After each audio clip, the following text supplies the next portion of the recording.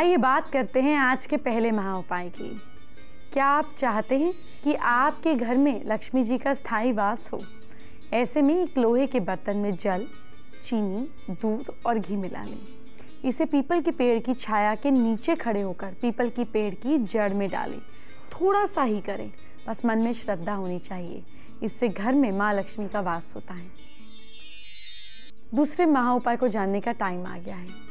क्या पति पत्नी के बीच झगड़ा इतना बढ़ गया है, जो कोर्ट तक जहाँ पहुँचा है? किसी तरह से समझौते का कोई आसार नहीं दिख रहा। आप भगवान गणेश की उपासना करें। गणेश जी को लड्डू चढ़ाएँ। गणेश जी को प्रसन्न होकर आपकी मनोकामना अवश्य पूर्ण करनी पड़ेगी। पति पत्नी के बीच आपसी मतभेद दूर करने के लिए अपना पलंग पूर्व की दिशा में लगाएँ। चाहे अलग अलग रह रहे हों, तब भी पलंग पूर्व दिशा में ही रखें। इसे पति पत्नी के रिलेशनशिप में चेंज आएगा। अब आज का तीसरा महा उपाय जान लेते हैं। क्या घर में सुख समृद्धि नहीं है? बार बार घर का चयन खो जाता है। घर में सुख समृद्धि लाने के लिए मिट्टी के सुंदर से बर्तन में कुछ सिक्के लाल कपड़े में बाँध कर रखें। इस बर्तन को गेहूँ या चावल से भरकर घर के नॉर्थ वेस्ट कोने में रख दें। ऐसा करने से घर में पैसे की कोई कमी नहीं रहती।